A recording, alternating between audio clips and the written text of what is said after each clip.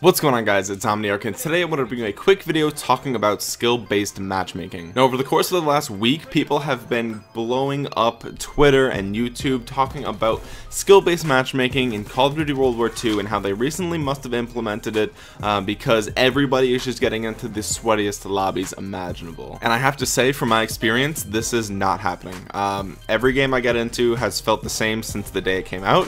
Uh, I'm having the same amount of fun when I jump into a lobby, playing against players that sometimes are better than me, sometimes aren't as good as I am. It's all been exactly the same, but I understand what people are experiencing, uh, and it's it's really funny because it's actually just common sense as opposed to someone jumping to conclusions that they've implemented new coding that enables you to only match against players of your own skill level. I, I just find this really funny because the game is good, right? The community pretty much agrees that Call of Duty World War II is a good game yeah, there could be a little bit, you know, of work done on weapon balance, which is fine. You know, that'll happen over time as they collect more data and figure out how to change these weapons and the right way to make them more balanced. That's fine. You know, you can't just flick a switch and make everything balanced. It takes time. I understand that yeah, maybe we could use more maps. And you know what? I don't have an answer for that one. Um, I think they should have shipped the game with probably at least three or four more maps, but hey, that's just me. Um, I, I happen to enjoy most of the maps on the game, so I'd rather have nine good maps, well, eight aside from Gustav Cannon. I'd rather have eight good maps than, you know, 15 average maps, so it is what it is, but yeah, overall the game is good, right? Most people would assume that yes, this is a good Call of Duty, it's better than the last couple of years, it's finally boots on the ground, it's what we've been asking for, and yeah, it's World War II, which is awesome because we, love that. Um, so now people just need something to complain about, and that's really what I think it is. So what I'm noticing is now that Call of Duty World War II has been out for a few weeks, people start complaining that it's harder to do well. Uh, and that makes sense because the game's been out longer. Um, so shitty players are now better. And um, that's it. Uh, that's all there is to it. Uh, there's no magic, there's no boogeyman, there's no coding that's screwing your game up. They're not out to get you specifically the player base has had a few weeks to play and they're better and get over it. And that's pretty much it. Um, and I know that sounds harsh I know that sounds rude but it's just it's amazing to me that all these people are on Twitter saying well they must have turned on skill-based matchmaking because uh, last week I was having a ton of fun and now this week I'm doing really badly. And it's like you ever think that maybe um, the shitty players, when they play it a lot, don't just stay shitty? I mean, yeah, they're not going to be as good as you, but they're going to go from, you know, a 0.7 KD to more of a 1.0 KD, which means someone's got to die more, and that's you. And that's the only way around it because that's how math works. Um, so, you know, what's happening really is the veteran players, the people who've been playing since Call of Duty 4, are good at Call of Duty. They're very familiar with the game engine. They know how the character, how the you're supposed to move, right? Now, that's something a lot of people forget. When they play Call of Duty for 10 years, um, the way that Call of Duty plays, the engine itself, has been adapted this entire time, but it's the same game engine, um, for good or for worse. And with that being said, to you, the way the way your character moves and shoots and operates and stuff in Call of Duty is intuitive. It's drilled into your head because you've been playing the game for 10 years. New players, that's not the case. So for veteran players, jumping into a brand new Call of Duty, even though you don't know the gun guns, you don't know which guns are better on what maps, you don't know the maps at all. With all that being said, you have a strictly huge advantage. You have a huge advantage jumping into a brand new COD because you know how the game plays. You you know the engine already, right? It's like you you it's like if someone's been playing League of Legends for 5 years and then they jump into Dota 2 or whatever, they're going to be better at that game than someone who's never touched a MOBA before. Because even though they're unfamiliar with Dota 2 at all, they at least understand the concept of a MOBA, and, and they'll just be better right out of, the, out of the gate. The same thing happens here. If you've been playing Call of Duty since COD 4, then you just know the game. So all the veteran players do pretty well right in the beginning, you know, as they figure out, okay, this gun's better than this gun, or whatever, they're learning the maps, but they know how to play Call of Duty. So as they learn, they're getting exponentially better. So, you know, the first week, week and a half or whatever, it's just like really easy. They're just pub stomping every game because they know that they know how Call of Duty works and and they are uh, just, it's not a level playing field because they know how to play Call of Duty. Uh, all the new players or all the people who've only been playing for two years, let's say, um, you know, they have to, they're still not as good at Call of Duty as a franchise, on top of the the whole learning the maps and the guns and everything like that and you know that whole situation so now that the game's been out for a few weeks um, the the the gap between shit player and and good player has shortened because there's not much more you know once you learn the maps and the guns uh, a good player can, can get this much better but someone who isn't really that good at Call of Duty in general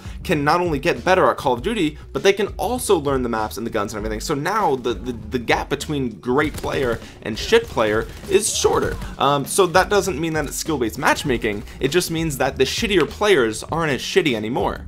Uh, and like I said in the beginning statistically if you took all of the every player in the entire world, anyone who's ever touched Call of Duty World War II, the average kill to death ratio is one. The average kill death, like, say it with me now. the average KD in Call of Duty is one, uh, because for every kill there's a death. So it has to be. And of course, we're ignoring people who jump off the map and kill themselves with a grenade. Like, those are just accidents. Those are outliers. Those aren't part of the actual game um, in terms of score, right?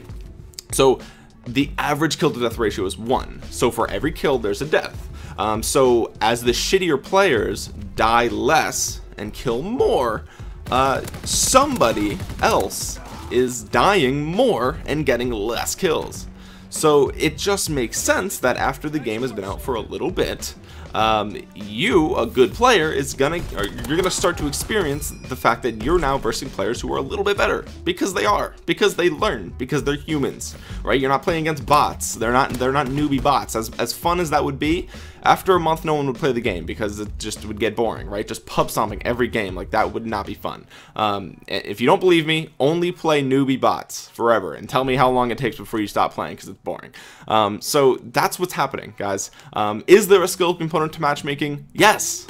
Yes, there is a small skill component, and that's to prevent 3 KD players from getting into the lobby with, you know, 0.3 KD players, because that's not fun for anybody maybe for the for the 3 KD player it'll be fun a couple times but besides the point they do factor in your KD a little bit but they've been doing that since like Call of Duty World at War or World War or I'm sorry Modern Warfare 2 one of those games. It's been a long time since they've admitted that that is part of the algorithm and I'm glad it is. It should be right? Uh, it should be part of the algorithm. Um, that's part of the algorithm for like every game out there. Uh, a small amount of skill-based matchmaking right? You want to be playing against people who are kind of your level um because that's the that's competition a little even just a little bit of competition is fun right? Even if you're just chilling you still want to win right? But you don't want it handed to you. You got to work for it a little bit. That's what makes the game fun. So yes that's not news.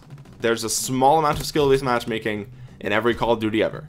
So nothing to complain about because it's not new. It's been it's been call of duty forever. Is there strict strong skill-based matchmaking? No. People are getting better at the game and that's why you're dying more, or getting fewer kills, and that's why it feels sweatier. Also, now your average players have picked up on the fact that, oh, you know what, I can actually look up YouTube videos. I can see what the better guns are. You know, your average player, you, you're not, this is something that people don't realize. When they're drilled into the community, they don't realize this. Your average player who plays once every two or three days, their first instinct when they get a new Call of Duty isn't, hey, let me Google what the best gun is. Now that the game's been out a few weeks, they've had time to realize, oh, okay, so people are using the bar or they're using whatever. So now even those sh shitty players, the average people who don't care as much about Call of Duty as you, even they've picked up on, okay, let's use the bar um, and, and let's use snipers on Gustav Cannon, etc. Right? So that's the explanation, guys. The shitty players not only got better, but they've also come across new information that helps them perform better by using better weapons and equipment and class setups, etc. You can thank um, Drift0r and TmarTn and and, every, and even myself. I've made videos of saying, hey, here are the best guns. So that's that's part of it, right? YouTube is part of the reason that shitty players get better faster, but also they've just been playing longer. So that's why they're better. Anyway, that's my rant guys. Uh, I just want to make this video to clear things up. Um, it is there's there's not there's not some boogeyman flicking switches over at Sledgehammer making sure you're doing shitty so some newbie keeps flying supply drops. Of, I'm sure they would love to do that uh, but that's not what's actually happening. Um, that would be ridiculous. So that's it guys um, if, if there's any more information if this changes if somehow we get solid evidence proving that skill-based matchmaking is in the game, then I will make a follow-up video. But until then, uh, just know that maybe slow your game down. Um, try to work on your own gameplay and work on getting better instead of complaining that everyone else is getting better because that's really all you're complaining about when you, when you say oh there's skill based matchmaking what you're really saying is people are doing better than me it's like now you're just complaining that you're shitty. So anyway, thank you guys so much for watching. This has been Omniarch. I will talk to you guys again soon. Peace.